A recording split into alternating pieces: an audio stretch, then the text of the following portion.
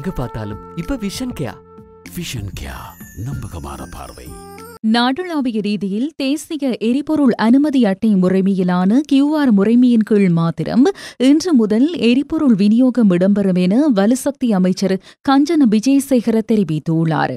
வாகனத்தின் இலக்க தகட்டில் உள்ள எண்ணையும் தேசிய எரிபொருள் அனுமதி அட்டையில் குறிப்பிடப்பட்டுள்ள வாகன இலக்கத்தையும் சரிபார்த்து எரிபொருளை விநியோகிக்குமாறு சகல எரிபொருள் நிரப்பு நிலைய உரிமையாளர்கள் மற்றும் நிர்வாகத்திடம் அவர் கோரிக்கை விடுத்துள்ளார். ஆயிரத்து நூற்று நாற்பது எரிபொருள் நிரப்பு நிலையங்களூடாக எரிபொருள் விநியோகம் இடம்பெறவுள்ளது.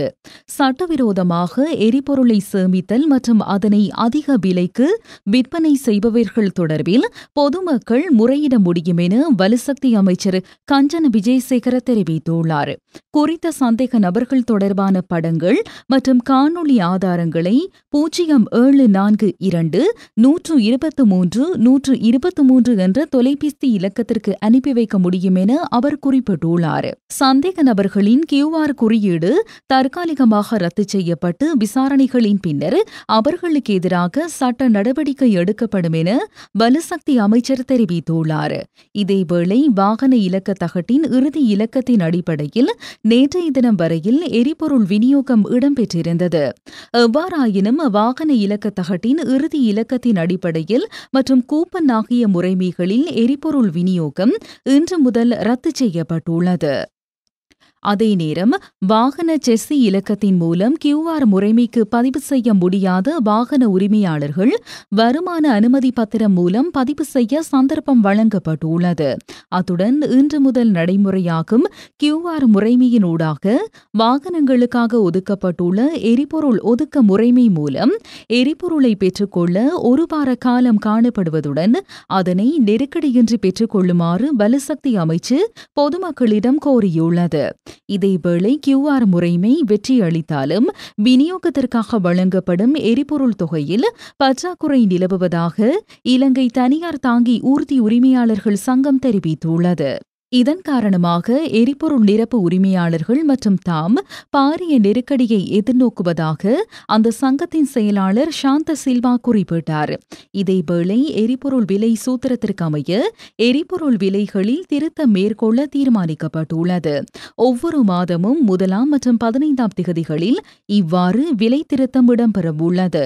அதன்படி எரிபொருளின் விலை ஐம்பது முதல் நூறு ரூபாய் வரையில் குறைக்கப்படும் என அரசாங்க தகவல்கள் தெரிவிக்கின்றன அதே நேரம் முகக்கவசங்களை அணியாதவர்களுக்கு இன்று முதல் எரிபொருள் விநியோகிக்கப்பட மாட்டாது என கனியவள விநியோகஸ்தர்கள் சங்கம் அறிவித்துள்ளது. பாடசாலை மாணவர்களுக்காக இன்று முதல் விசேட பேருந்துகள் சேவையில் ஈடுபடுத்தப்பட்டுள்ளதாக தேசிய போக்குவரத்து ஆணைக்குழு தெரிவித்துள்ளது. முதல் கட்டமாக மேல் மாகாணத்தை மையமாக கொண்டு நடைமுறைப்படுத்தப்பட உள்ளதாக அதன் பணிப்பாளர் நாயகம் நிலான் மிரண்டோ தெரிவித்துள்ளார். அதே நேரம் அதிகளவான பேருந்துகளை இன்றைய தினம் சேவையில் ஈடுபடுத்துவதற்கு நடவடிக்கை எடுத்துள்ளதாக இலங்கை தனியார் போக்குவரத்து உரிமையாளர்கள் சங்கத்தின் தலைவர் எமுனு விஜயரட்ன தெரிவித்துள்ளார். எரிபொருளின்மை காரணமாக சில இடங்களில் பேருந்துகள் சேவையில் ஈடுபடாதுள்ளன. எனினும் தனியார் பேருந்துகளுக்கு இலங்கை போக்குவரத்து சாலைகளின் ஊடாக எரிபொருள் விநியோகிக்குமாறு எழுத்து மூலம் கோரிக்கை விடுத்துள்ளோம்.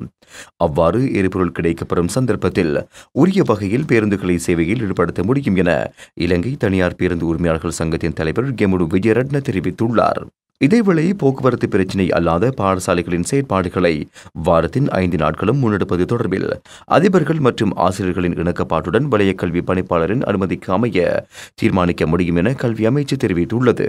மாகாண போக்குவரத்து அதிகார சபை பாடசாலை போக்குவரத்து நடவடிக்கைகளுக்காக தனியார் பேருந்துகளை சேவையில் ஈடுபடுத்தியுள்ளதோடு சாதாரண கட்டண அடிப்படையில் ஆசிரியர்களும் மாணவர்களும் அதில் பயணிக்க முடியும் என கல்வி அமைச்சு விடுத்துள்ள அறிக்கையில் குறிப்பிடப்பட்டுள்ளது. எனினும் போக்குவரத்து பிரச்சினை நிலவும் பாடசாலைகள் இன்று முதல் எதிர்வரும் ஐந்தாம் தேதி வரையான ஐந்து நாட்களில் கடந்த வாரத்தை போன்று மூன்று நாட்களுக்கு மாத்திரம் பாடசாலை கற்றல் செயற்பாடுகளை முன்னெடுக்க முடியும் என அந்த அறிக்கையில் குறிப்பிடப்பட்டுள்ளது.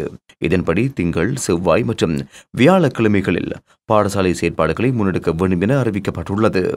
புதன் மற்றும் வெள்ளிக்கிழமைகளில் மாணவர்கள் வீட்டில் இருந்து கற்றல் செயற்பாடுகளை முன்னெடுப்பதற்கான நடவடிக்கைகளை ஆசிரியர்கள் மேற்கொள்ள வேண்டும். அல்லது இணையவழி கற்பித்தல் முறைமையில் ஈடுபடுவதற்கும் சந்தர்ப்பம் வழங்கப்பட்டுள்ளது. இலங்கை மக்கள் பாரிய பொருளாதார நெருக்கடிகளை சந்தித்துள்ள சவாலான சூழலில் இருந்து மீள்வதற்கு கட்சிகள் அனைத்தும் தமக்கிடையிலான அரசியல் காழ்ப்புணர்ச்சிகளை கடந்து ஓரணியாக செயலாற்ற முன்வர வேண்டும் என கடல் தொழில் அமைச்சர் டக்ளஸ் தேவானந்தா தெரிவித்துள்ளார். அமைச்சர் அறிக்கையொன்றை விடுத்து இந்த விடயத்தை குறிப்பிட்டுள்ளார். நாடு எதிர்கொண்டுள்ள அரசியல் மற்றும் பொருளாதார நெருக்கடிகளை எதிர்கொள்ள சர்வகட்சி அரசாங்கம் ஒன்றை ஸ்தாபித்து முன்னோக்கி செல்வதனூடாகவே சிறந்த பெறுபேற்றை பெற்றுக் கொள்ள முடியும்.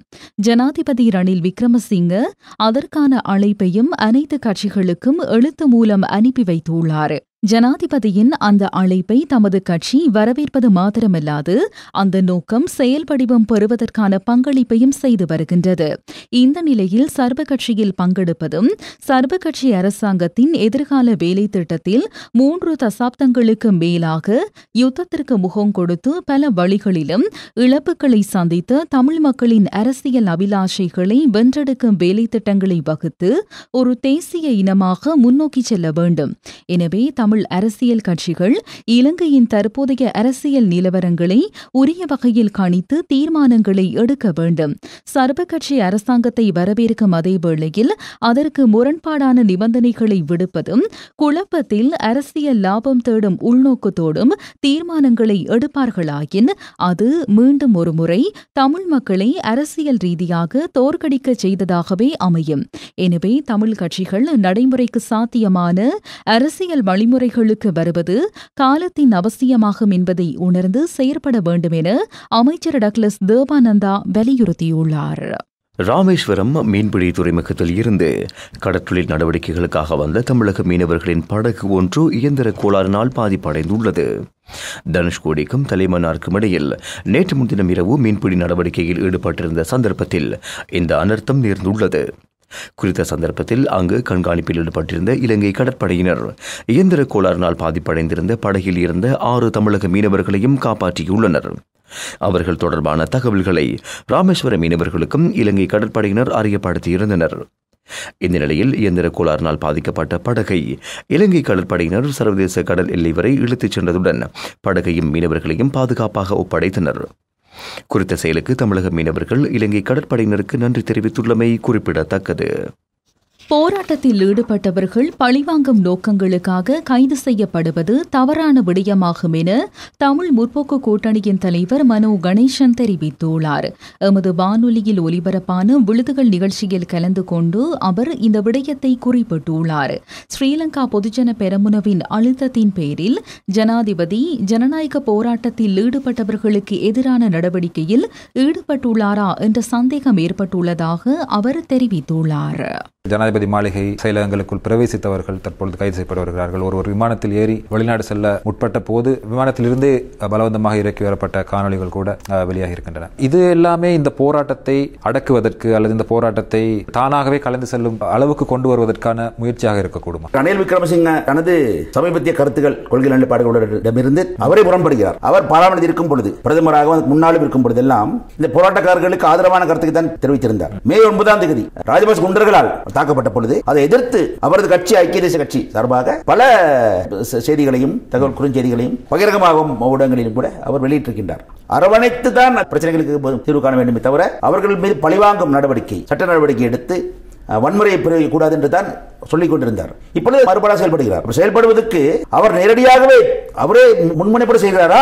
அல்லது அவரது சொட்டிருக்கூடிய எஸ்எல்பிபி அழுத்தங்கள் காரணமாக தெரியவில்லை? எப்படி இருந்தாலும் கூட நான் செய்யவில்லை எம்பிகள் செய்கிறார் தப்ப முடியாது. தலைவர் அவர் தான் அதிபர் அவர் தான் ஜனாதிபதி அவர் தான் ஆக அவர் பொருட்படுத்தி ஆக வேண்டும். ஆகவே இது ரணில் விக்ரம் செய்கின்ற ஒரு தவறு பிழை. ஜனாதிபதி ரணில் விக்ரமசிங்க என்பவர் ஒரு தந்திரசாலி என்று சொல்வார்கள் பேச்சு வழக்கில். ஒரு நரி என்று சொல்வார். நரி தந்திரமான். ஓனாய் தந்திரத்தை மூட்டை கட்டி வைத்துவிட்டு நேரடியாக பாய்ந்து குதிரும். இப்பொழுது பிரச்சனை என்னவென்றால் மணி நிறையா ஓனாயா? அக்கரப்பத்தனை பிரதேச சபையின் தவிசாளர் பதவியில் இருந்து சுப்பிரமணியம் கதிர்ச்செல்வன் விலகியுள்ளார் அவர் தமது பதவி விலகல் கடிதத்தை இலங்கை தொழிலாளர் காங்கிரசின் பொதுச் செயலாளர் ஜீவன் தொண்டமானுக்கு நேற்று அனுப்பி வைத்துள்ளார். தனிப்பட்ட காரணங்களுக்காக குறித்த பதவியில் இருந்து தாம் விலகுவதாக சுப்பிரமணியம் கதிர் செல்வன் அந்த கடிதத்தில் குறிப்பிட்டுள்ளார். அவரது பதவி விலகலை அடுத்து ஏற்பட்ட வெற்றிடத்திற்கு புதிய தவிசாளர் ஒருவரை நியமிப்பதற்கு நடவடிக்கை எடுக்கப்பட்டுள்ளதாக இலங்கை தொழிலாளர் காங்கிரசின் பொதுச் செயலாளர் ஜீவன் தொண்டமான் தெரிவித்தார் தெரிவித்துள்ளார். இந்த செய்தி உள்ளிட்ட மேலதிக விரிவான செய்திகளுக்கு W W W dot Sooriyan FM news என்ற எமது இணையதளத்திற்கு பிரவேசியுங்கள்.